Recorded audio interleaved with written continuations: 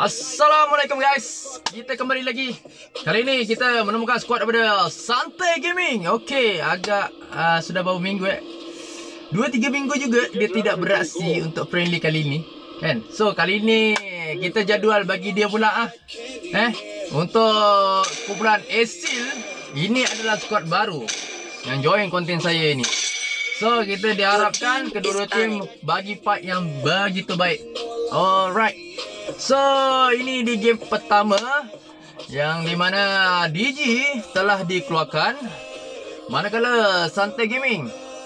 Apakah draw band yang akan dikeluarkan? Okey Atlas telah pun dikeluarkan di sini.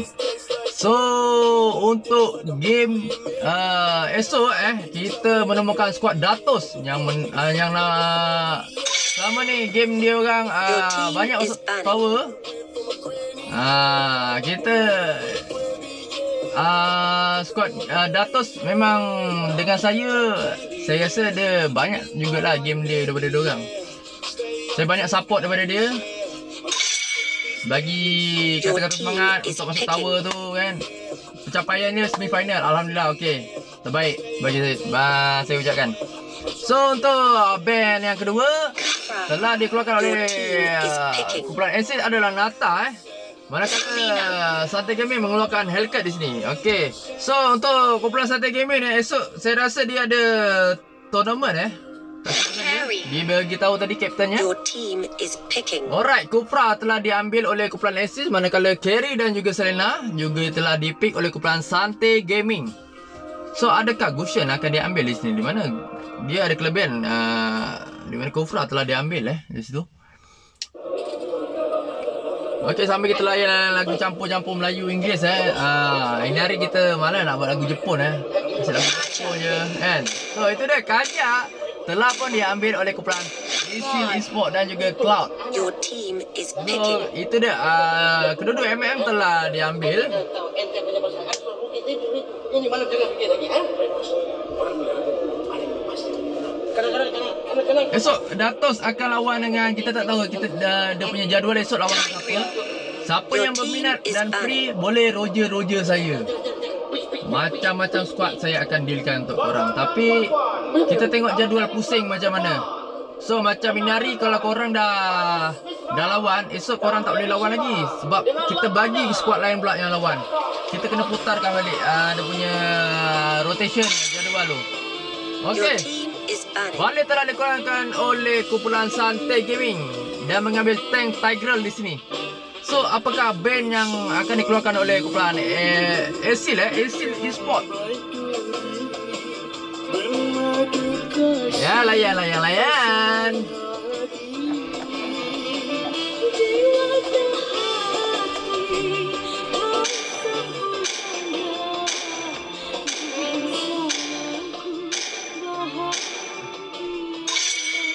Okey, Silvana telah pun dikeluarkan. Lama betul dia nak minta band tu eh. Ah. Lama betul dia band tu. So, saya nak caster pun ada payah sikit. Lama sangat band tu. Okey. Adakah kumpulan SG akan mengambil dua tank di sini? Yes, dua tank. Iaitu Akai di sini diambil oleh kumpulan SG di sini. Dan uh, manakala untuk kumpulan uh, ya itu dah last pick daripada kumpulan Asil ya di mana mengambil uh, Uranus dan juga Jawhead eh. Dia, saya rasa Kaja akan bermain uh, uh, item maze saya rasa. Tak silap saya, mungkin dia tak akan pakai emblem tank. Mungkin dia akan mengambil emblem support di sini. So, pick yang terakhir untuk kumpulan Santai Gaming adalah Leomod. Okey. Uh, drapik yang sungguh mantap dan uh, saya rasa uh, kelebihan uh, berpihak kepada kumpulan Asis kerana dia saya rasa tiga apa tiga tank saya rasa lebih kurang di mana Uranus uh, juga Joel boleh buat semi tank dan juga Kofra. So ada kelebihan di situ. Tapi untuk damage eh Bagi kumpulan uh, uh, Santai Gaming uh, Saya rasa Boleh dikira okey lah. So uh, Ini adalah game Untuk Tower Santai Gaming esok. Ah uh, Dia training Untuk ini hari Untuk friendly lah. So kalau dia boleh beat InsyaAllah. Saya doakan uh, Game awak esok Mudah-mudahan uh, Ada keberkatan Ada rezeki untuk meneruskan game next next set playoff ke apa. Ah, right. Semoga berjaya lah. Okay, sekejap lagi kita akan masuk ke Land of Down di sini. Welcome Itu dia. Mobile Legends. Kita telah masuk ke game yang pertama di sini. So, kumpulan uh, biru adalah AC ya. AC Esports.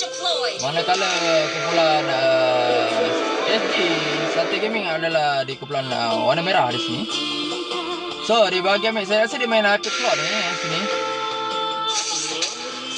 Untuk kumpulan Esports attack. uh, mengambil uh, membuat meta Hyper Cloud di sini. eh. Kita tengok adakah berjaya tu itu dia Johet uh, sedang shot di bahagian uh, bot di sini eh. Mana dia terlepas satu minion di situ. Begitu juga di bahagian uh, top di mana oh nampaknya oh berjaya di situ Cloud mengambil saya rasa. Oh, adakah berjaya mengambil uh, buff tersebut? Ataupun diambil oleh. Saya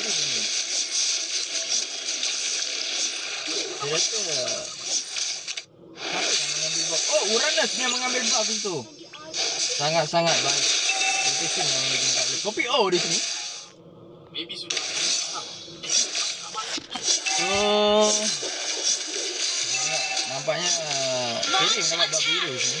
Adakah dia berjaya untuk bawa rusuhan di bahagian uh, bot di sini di mana bantuan daripada Satu backup. gaming ada ketinggalan sedikit di sini. Tapi, woi, sangat bahaya di situ. Wow, wow, wow, sangat bahaya di situ. Dalam bahaya, itu first blood airnya tertidur. Tapi Selena mendapat kill ke atas kaca di sini. Tapi tengok FCR terkena dekat Cloud. Adakah Selena berjaya? Tapi Johid uh, mendapat kill di situ ke atas Leomok. So, kill 2-1 di sini ya. So, kita tengok Selena cuba untuk uh, menjatuhkan Johid tapi tidak dapat kerana dia ada live Memang sangat bahaya di situ Selena. Berlawan dengan tiga player di sini. Akhirnya dia tercedok. Kena mistik daripada beliau. So, agak ketinggalan dia ketika ini. Di mana 200 gol kan. Dia ketinggalan 200 gol. Okay, tapi kita tengok dia. Request backup.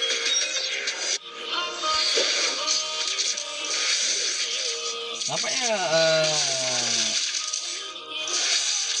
Lord uh, sedang mengkayakan diri dia sendiri. Di mana ni?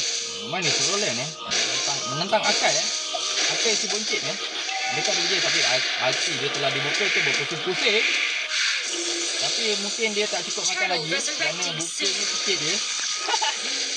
so kita tengok Adakah Uranus terjerat dengan masa seterusnya untuk satu game ni? Tapi kita tengok sekali lagi Uranus mendapat buah merah di sini guys. Kita tengok. Wow, sangat mantap permainan Kopiko di sini memakai uh, apa dia? Memakai Uranus ni. Tapi kita tengok siapakah masa seterusnya. Itu dia Akai telah pun menjadi korban di sini. Lauknya panda. Okey, kita tengok di bahagian bot. Nampaknya Diomot sedang uh, memilih lane tapi Johid datang di sini. Kita tengok itu dia killing spree daripada Kaja tadi kita miss of the moment. Kuda gagahku berlari tapi terlepas kuda di situ. Oh. Akhirnya dia akan menimpa keadaan itu. Ya. Akhirnya dia tercedok Liomot. Tercedok di sini guys. Di mana kuda dia terlepas tadi guys.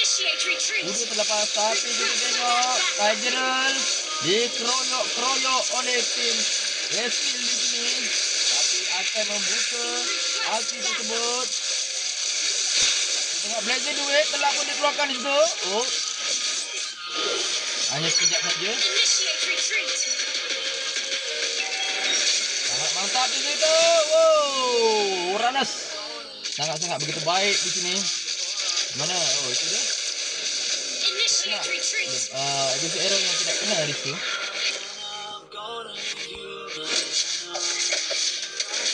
Tapi tengok, Uranus sangat uh, begitu uh, agresif eh, di sini. Memang dengan empat player santai gaming di sini. So kita tengok adakah dia berjaya menumbangkan uh, Uranus ni. Mana dia? Copra mendapat kill ke atas Selena dia. Tapi kita tengok adakah Tajirel menjadi masa seterusnya hanya menjadi masa kat slot di sini.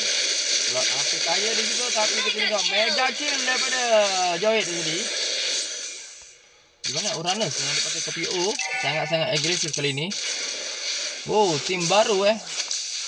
Sangat-sangat mantap playing ada gameplay daripada beliau. So kita tengok di manakah support daripada Sate Gaming untuk uh, mensupport uh, Leomon di sini tapi kita tengok saya rasa Leomon akan sini ke atas cloud di situ.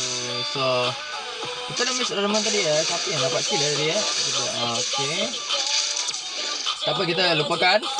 Uh, kita tadi berpandangan kepada Leomon. Uh, apa tadi Leomon dengan eh. sini. Initiate Tapi tengok akan okey itu dia slot yang yang sangat sakit ketika ini. Oh, double kill untuk beliau untuk uh, Cobra.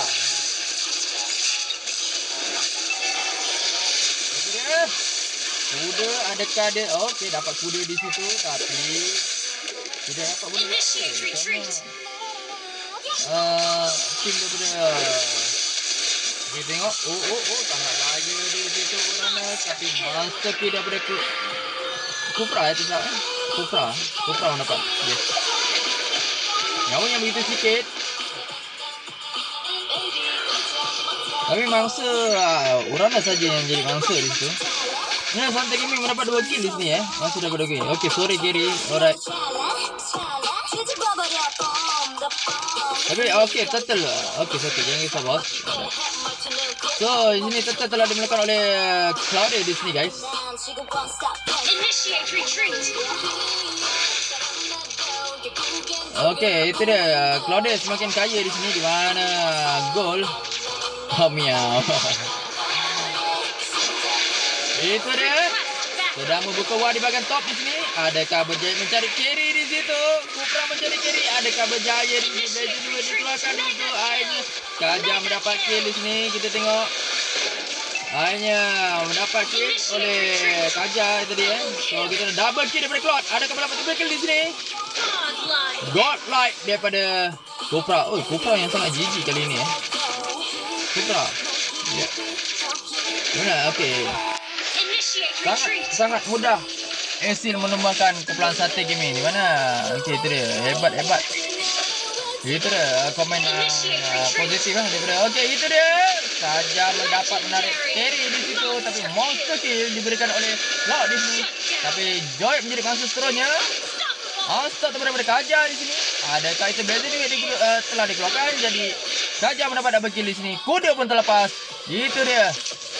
Adakah uh, kumpulan Asil uh, dapat menamatkan uh, game dengan begitu cepat di sini?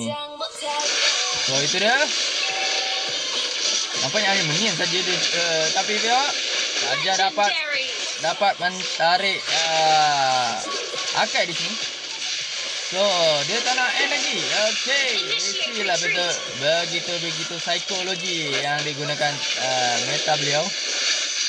So kita tengok Adakah dia berjaya untuk mempertahankan minion-minion yang begitu banyak di sini? So itu dia kemenangan berpihak kepada Asil Esport di sini. Di mana game yang pertama? So kita tengok Siapakah MVP yang telah Muntun berikan. Ya Itu dia MVP jatuh kepada Cloudy Ya di mana 7014 di sini. Alright, so tahniah untuk pelan Asil Esport di game yang pertama. So kita akan uh, apa memasuki game yang kedua. Jangan lupa share dan like and comment di bawah. Thank you for watching. Alright, see you again.